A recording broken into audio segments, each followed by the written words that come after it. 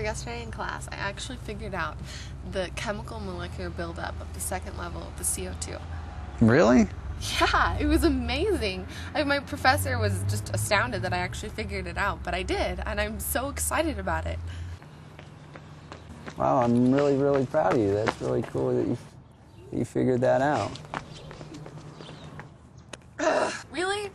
What? One girl.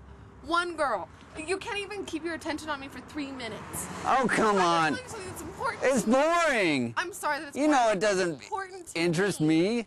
You know how I feel about this. We've talked about this. I told you all about my past and my mom and my self images growing up because I was tall and a freak and I didn't grow into my body till way after everyone else. Man, I don't did. know what your whole problem is. I mean, she was hot. You're she actually supposed was. She was interested woman. in me. One woman. I'm your girlfriend. You're supposed to give me the attention, and I was talking and telling you about. Well, you're supposed to give me the attention that I need. I do. I talk to you. I listen to what you have to say. I don't check out everything that walks by. It's because you're boring.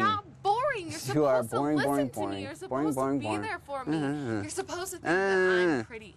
You're supposed to know all the good things about me, and you don't. Gosh.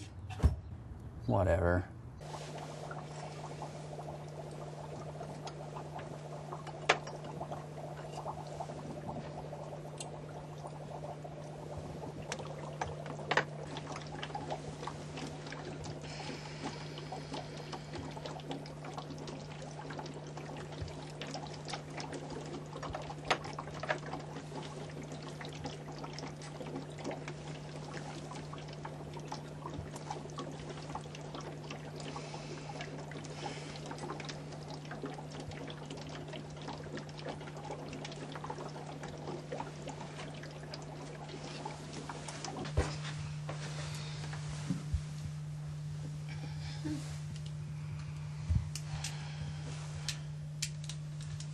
Oh, Odd.